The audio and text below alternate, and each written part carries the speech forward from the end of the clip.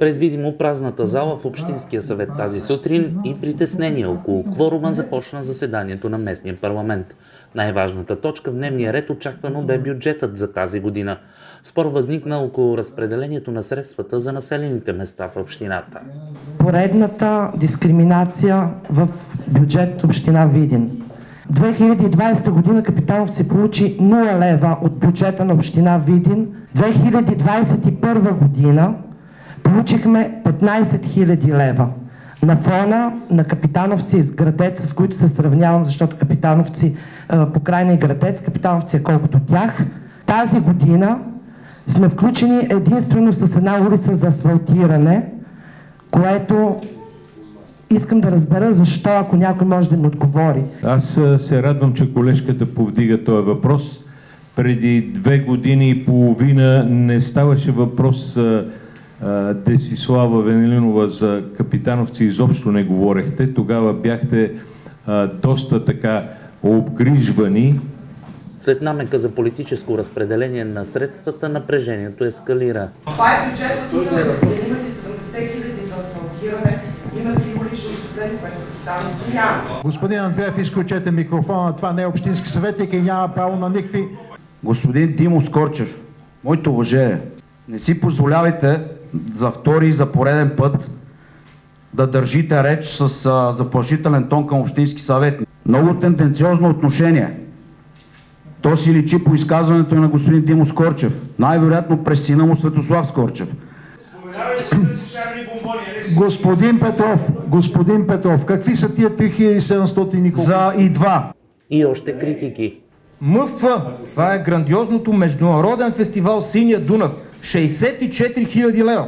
Най-възмутителното за мен отбелязване на 3 март 590 лева. Според управляващите обаче бюджетът е повече от добър. Това предложение на общинското ръководство изхожда от предни години, от някакъв опит и така нататък, че ще има промени в него, ще има, всички добре го съзнаваме. Има приличен вид, такъв голем бюджет не сме имали до сега.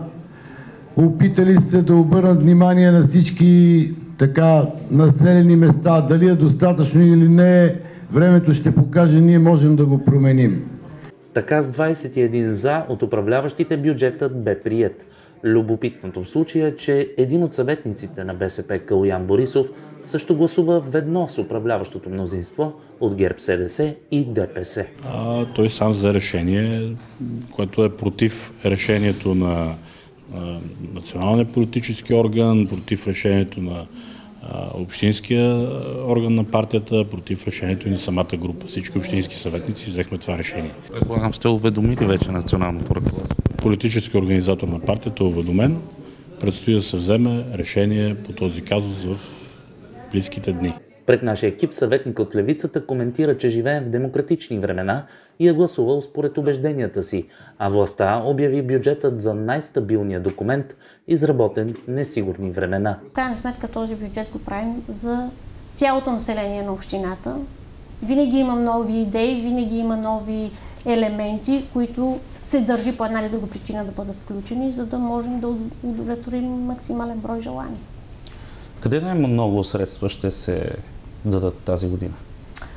А, много, са, много са секторите, много са дейностите, в които ще се дават средства. Значи, ако сметнем и а, проектите, които изпълнява общината през тази година, със сигурност най-много средства ще отиват за капиталови разходи. Така тази година 200 000 лева са определени за спорт.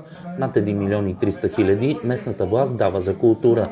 1 милион лева са парите за всички населени места в общината, като над 800 хиляди лева са за асфалтиране на улиците. Общинския съвет пък ще харчи 15 000 лева за външни услуги, а само 2 000 лева са отделени за представителни.